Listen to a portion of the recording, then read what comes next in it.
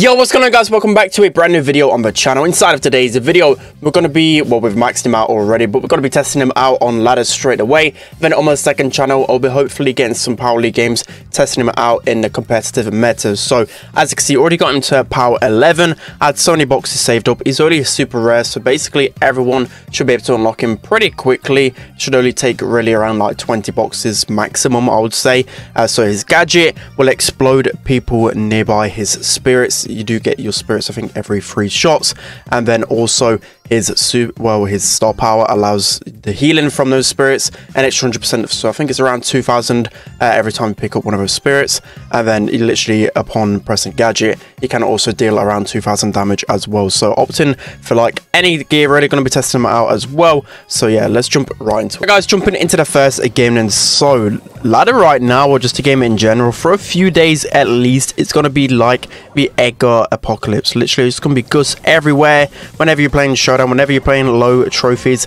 Gus is just going to be there. It's going to be really funny to see. I love it when a, a brawler like this comes out, which is really low rarity, and literally everyone gets. It's really good fun. So Gus, I think right now in the meta, I've not really tried him out too much, but I think he'll be a pretty decent brawler just because of the buffs. I think without the buffs, he would have been pretty bad but you can't really expect him to deal a lot of damage. That's one thing that he's not going to be the greatest at because he is a support brawler, so you've got to be wary of that, that he's not really going to pack too much of a punch, and that's why I've gone for the damage gear, just because it'll allow him to at least um, fight that a little bit longer. So super, you uh, a few people throw it towards uh, the enemies. I've seen that already, but you want to throw it towards your teammates, or of course put it on yourself. For the most part, I would say put it on someone that's a little bit more aggressive. You'll get a lot more value out of it. But if you're looking to like collect gems, for example, or if someone is playing aggressive onto you, then of course you can make uh, that play and pop it on yourself. So Adrian, he's just going to score by himself, even though I'm getting chased by Anita Bear. That's probably going to be a big counter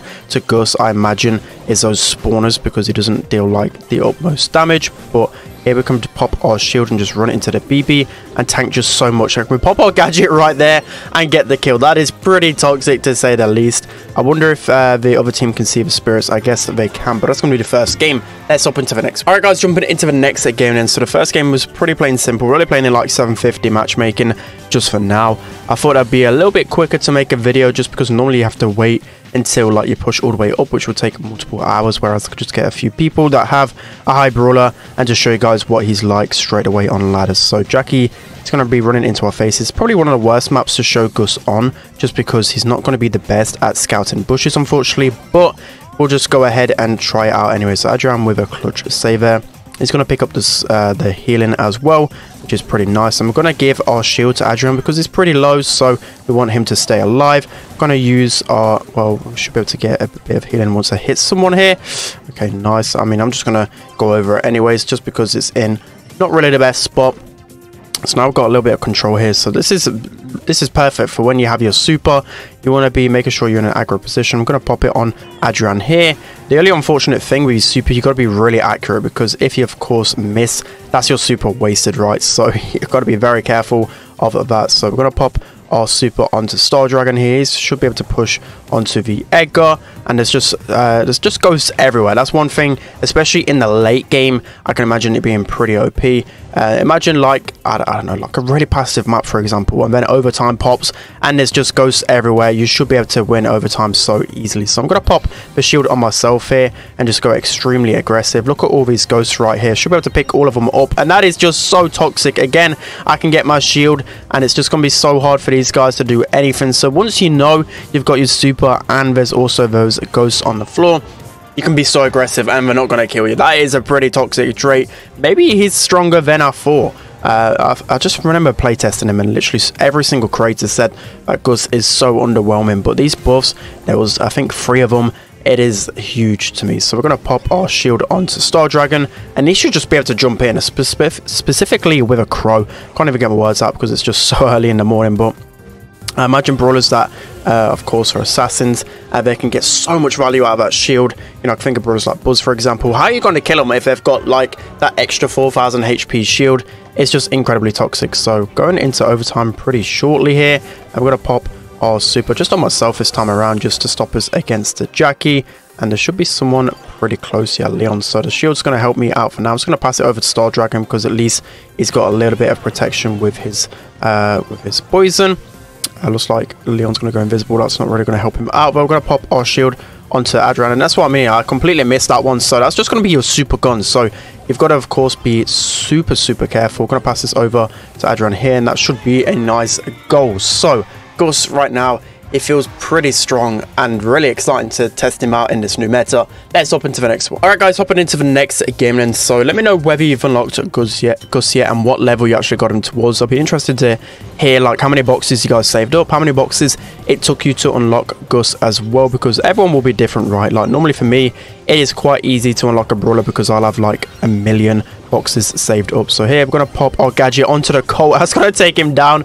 That is just so funny that uh, he just doesn't expect it. Like 1,800 damage is actually a lot. That is nothing uh, to, uh, well, just ignore. Like that is a considerable uh, gadget right there. And considering you can do it to multiple ghosts as well, like that's going to be so strong.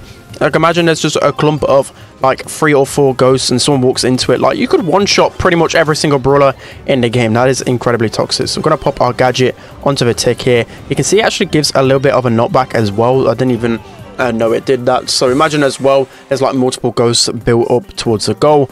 Like what are they going to be able to do? Because that uh, knockback on the gadget is uh, pretty toxic. just going to pop our super onto the Frank. That's just some beastie HP, like so much HP on the side of Frank right there. And again, going to give him that extra bit of shield, and that's going to be a goal. So yeah, Gus, he feels so strong right now. Let's hop into the next one.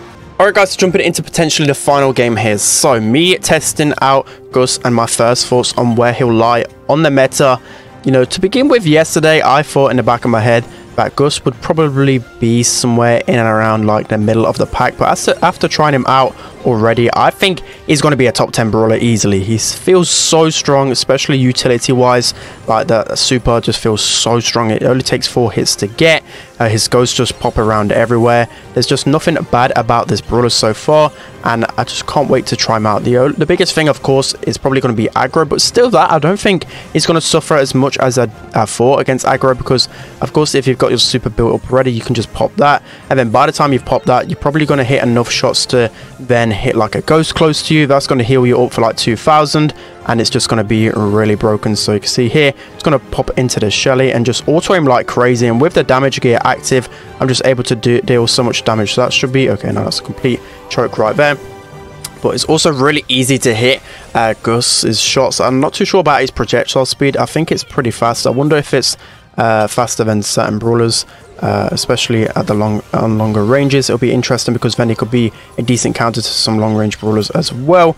Let's see if we can get the crow down. He's pretty annoying. Specifically, that might be a decent counter to uh, Gus. I think I imagine if uh, crow poisons you, it will you will get less healing from your ghost. So maybe that could be an interesting counter for sure.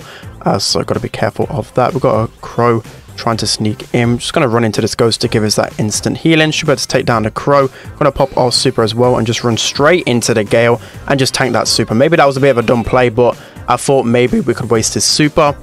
And this isn't going to plan as much as the first one is uh, or the other games just because we've got a Gale and a Shelly and a Crow up against the Nash. I kind of feel bad for Star Dragon. He's just getting straight up countered. It's so ridiculously hard here. We're going to pop the uh, super onto Adrian. That should give him enough HP. He also gets the Ghost as well. And he's just unkillable at the moment. We've got a Shelly in this bush.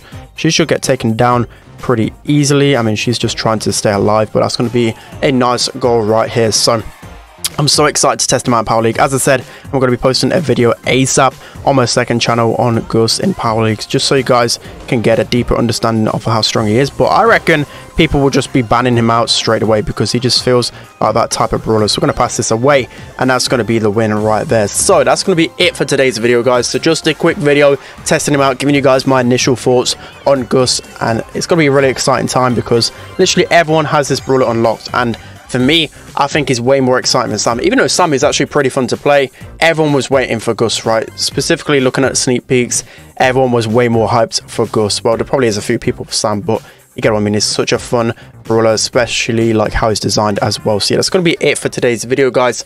Hope you enjoyed this one. Don't forget to like, comment, and subscribe. and I'll see you guys next time.